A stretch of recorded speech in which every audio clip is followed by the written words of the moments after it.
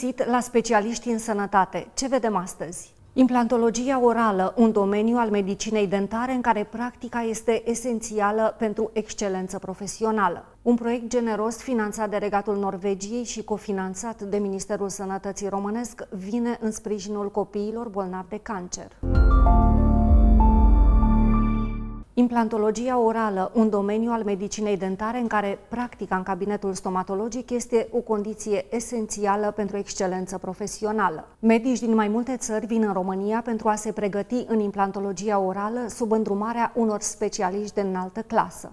Cursul de implantologie orală este însă și în folosul pacienților cu probleme dentare grave, selectați pentru a primi asistență medicală gratuită în cadrul proiectului coordonat de conferențiar dr. Horia Barbu, decanul Facultății de Medicină Dentară din cadrul Universității Titu Maiorescu. Am trecut prin specializarea pe implantologie și uh, chiar am făcut ieri în, cazul, în cadrul acestui curs în care avem invitați uh, doctori din peste 11 țări. Am făcut, mi-am făcut o recapitulare și mi-am dat seama că de 9 ani de zile am uh, de cel puțin 3-4 ori pe an merg la cursuri și fac plimbări în Israel pentru cursuri, nu doar de concediu.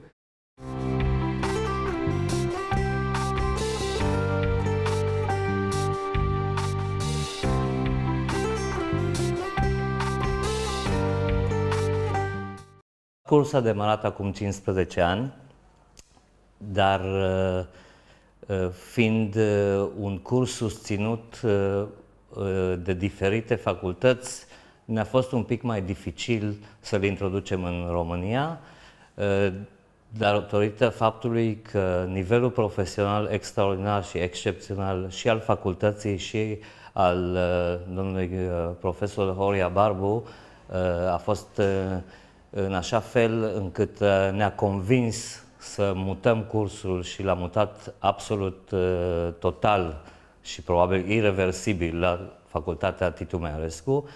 Uh, și de fapt din 2010 susținem aceste cursuri la nivel internațional între două și patru ori pe an. So as part of the implantology department, what we do is something very, very unique. We bring participants, clinicians, from all around the globe. As a matter of fact, in this course, we have participants from 11 countries, from Australia to Canada, uh, Israel, France, Britain, and so on. And we bring them the latest innovations in implantology. So actually, instead of watching presentations and lectures where they go everywhere, they are able to see live surgeries done by us and demonstrating them the latest innovations, the clinical approaches, what can be done today uh, in modern uh, implantology. And this is a big advantage, both for the clinicians who are coming and of course to everyone who participates. So another big advantage of coming and joining this uh, hands-on live surgery course that we perform here at the University uh, of Tito Maiorescu in uh, Bucharest is that we also manage uh, all kinds of complications that the participants are able to see how to solve those uh, complications.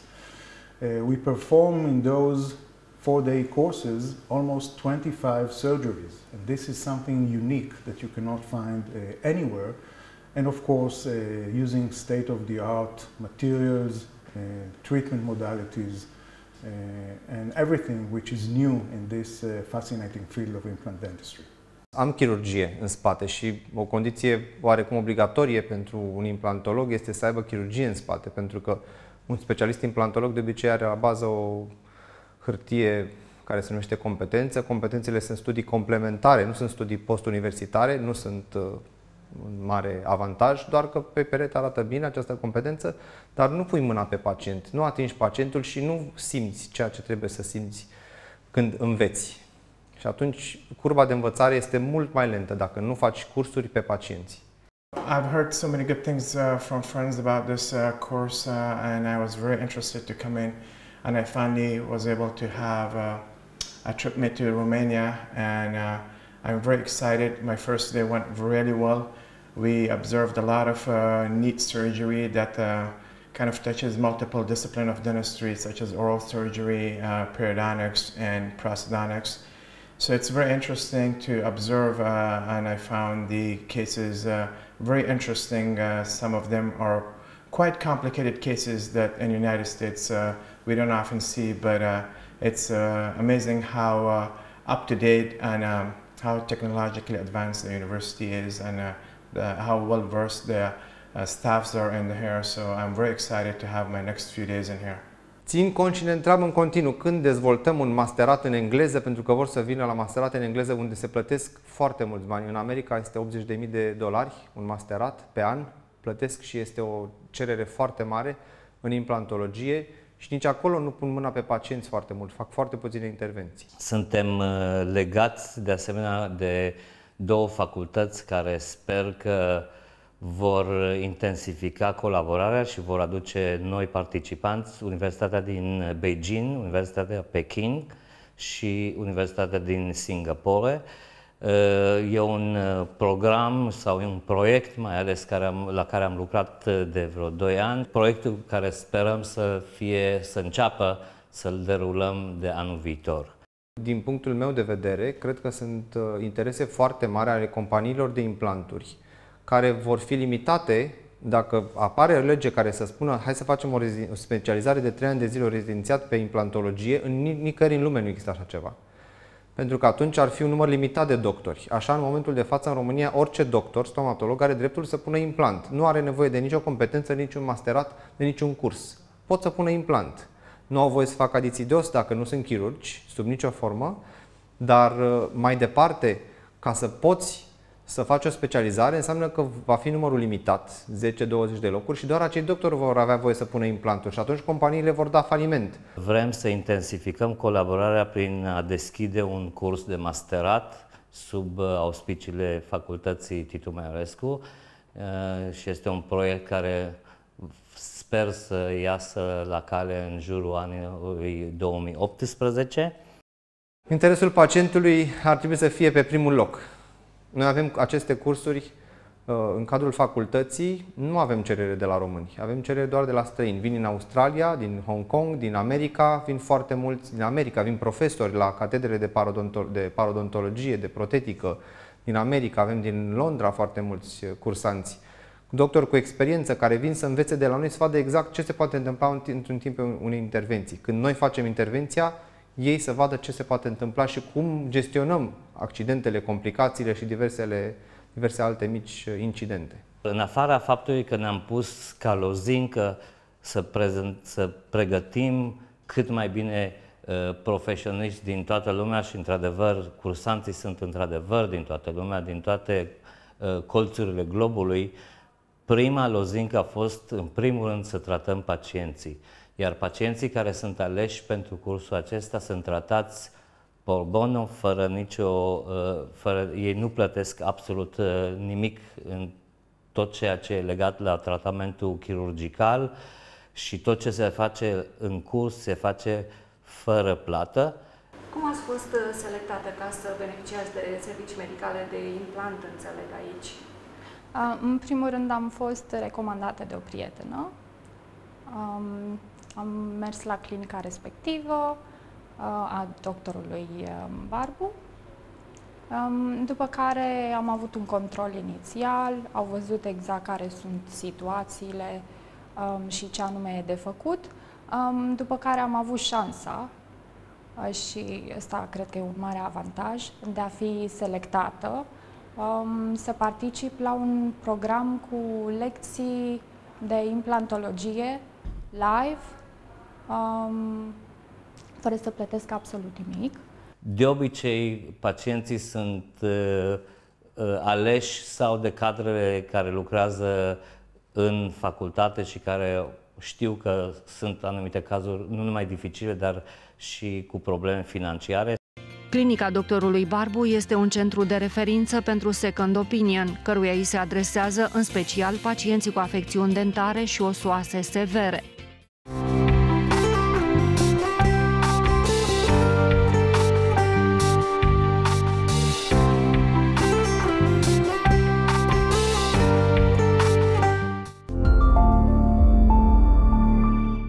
Un proiect generos finanțat de Regatul Norvegiei și cofinanțat de Ministerul Sănătății Românesc vine în sprijinul copiilor bolnavi de cancer. Detalii imediat după publicitate. Rămâneți cu noi!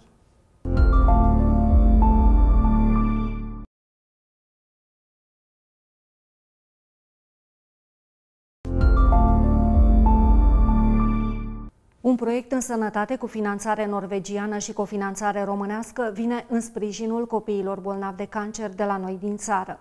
În premieră, în sistemul sanitar de stat, peste 5 milioane 600 de mii de euro sunt destinați achiziționării de aparate RMN și de sisteme de sedare și monitorizare a micuților pacienți în timpul investigațiilor imagistice.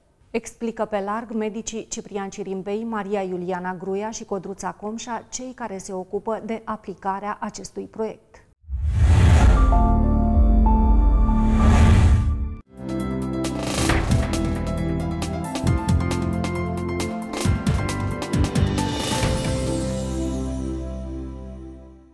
Oncologia pediatrică este acea specialitate care se ocupă de cancerul la copil.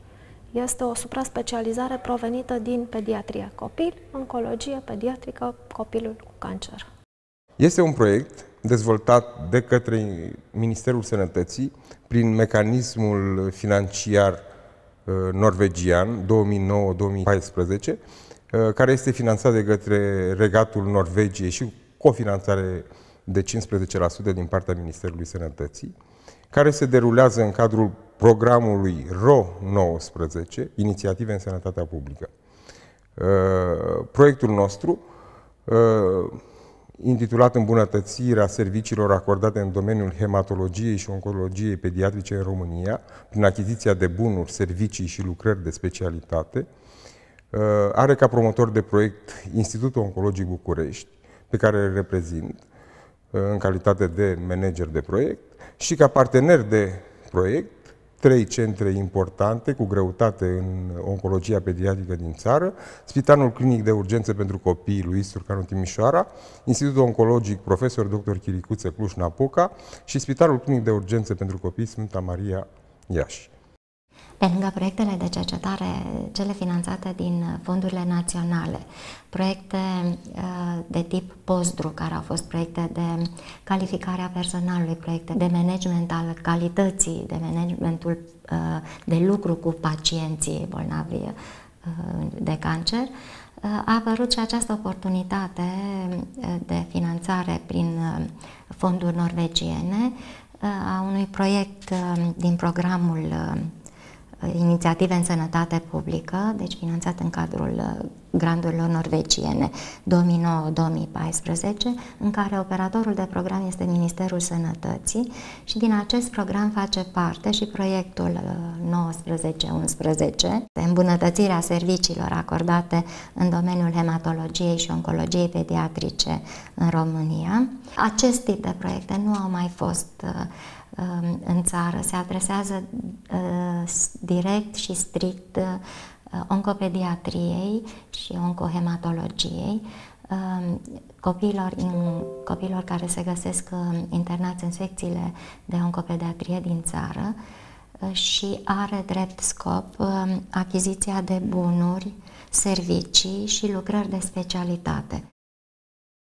În prezent, în România există 11 centre de oncologie pediatrică uh, care acoperă toată țara și dintre acestea sunt câteva centre mari. Uh, cele mai mari centre, patru, sunt cele implicate în acest proiect. E vorba de Institutul Oncologic București, Institutul Oncologic Cluj, uh, Spitalul Sfânta Maria din Iași și Spitalul lui Sturcanu din Timișoara. Acestea patru, împreună cu Institutul Clinic Funden, sunt cele mai mari centre de oncologie pediatrică, unde sunt tratați aproximativ 70% din uh, copiii cu cancer. Institutul Oncologic a fost înființat în 1959 printr-un decret um, ca institut de cercetări cu paturi clinice. Este unic în zona aceasta a Europei, uh, institut care îmbină toate cele trei tipuri de activități, didactică, clinică și de cercetare, pentru că în cadrul institutului își desfășoară activitatea Catedra de Oncologie și de Chirurgie de Specialitate, unde studenții au, își de, au activitățile lor clinice și di, contactul direct cu pacienții și cu tot ceea ce înseamnă activitatea medicală de specialitate. Spitalul are peste 500 de paturi unde pacienții beneficiază de o îngrijire medicală de specialitate și există și trei departamente de cercetare și o biobază care permit o cercetare translațională de la nivel celular până la studii și trialuri clinice, astfel încât în cadrul acestui institut întreaga activitate se întrepătrunde. Este o activitate, din punctul meu de vedere, extraordinară și benefică uh, pentru îmbunătățirea uh, calității actului medical și a calității vieții pacientului oncologic. Este un proiect care se adresează, așa cum reiese și din titulatura lui, în special oncologiei pediatrice și oncohematologiei pediatrice. Practic, proiectul are două mari direcții de acțiune. Prima direcție constă în dotarea a trei centre, București, Cluj și Iași, cu câte un aparat RMN, uh, care va permite realizarea uh, acestei, acestui tip de investigație complex și performant la copii uh, și faptul că această investigație va fi realizată sub anestezie generală.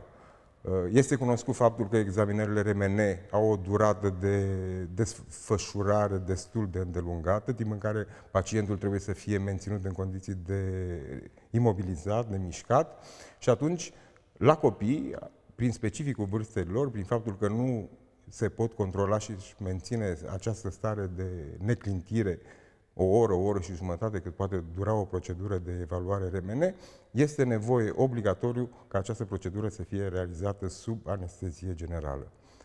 În consecință, pe lângă dotările cu RMN, vor fi dotate aceste incinte și cu aparate de anestezie și cu sisteme de monitorizare complexă la distanță a funcțiilor vitale ale pacientului care se află în incinta RMN-ului și care va fi anesteziat, iar Uh, întreaga activitate în aceste centre va fi multidisciplinară, participând anestezist, uh, imagist, uh, eventual oncopediatru. În ultimii ani s-au înregistrat cam 500 de cazuri noi de cancer pe an în, în toată țara, iar în evidențele noastre sunt aproximativ 5.000 de pacienți, aceștia repre- fiind reprezentați de copii nou diagnosticați, copiii diagnosticați în urmă cu relativ puțin timp, dar care au terminat tratamentul și continuă monitorizarea, și foștii copii, cei care au avut un cancer în copilărie, care sunt supraviețuitori, iar acum sunt adulți.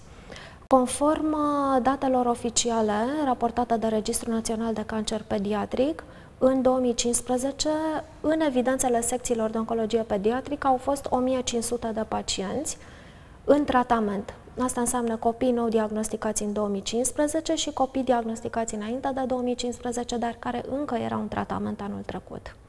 Desfășurându-se în mai multe centre mari din țară, încearcă să acopere întreaga sferă de oncopediatrie din zona Iași, Cluj, Timișoara și București și are drept scop tocmai achiziția de echipamente, de servicii de specialitate și bunuri adresate copiilor uh, cu afecțiuni oncologice. Cea de-a doua direcție de acțiune a proiectului constă în realizarea unui program de instruire uh, desfășurat în toată țara a personalului din domeniul oncologiei pediatrice și oncohematologiei pediatrice.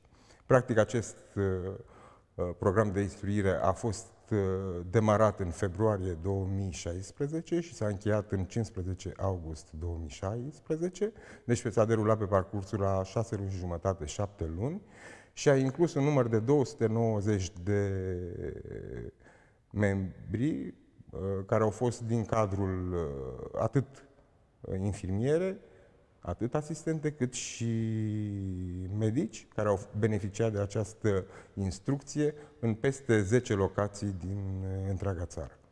Cea mai mare nevoie se simțea în general în, în spațiul de diagnostic și spațiul de diagnostic precoce, astfel încât în proiect există stipulată achiziția a trei aparate de tip RMN instalate la Iași, Cluj și București și pentru că copilul uh, suportă greu un diagnostic uh, de tip RMN, acesta trebuie făcut uh, special cu, sub anestezie. Drept urmare, în proiect sunt achiziționate și uh, aparate de monitorizare la distanță, uh, pregătite camere de anestezie cu fluxul de gaze necesar, astfel încât uh, acest diagnostic să, și această manevră pentru copii să se facă cu minim de, de stres și orice fel de tulburare care afectează emoțional copilul să fie eliminată.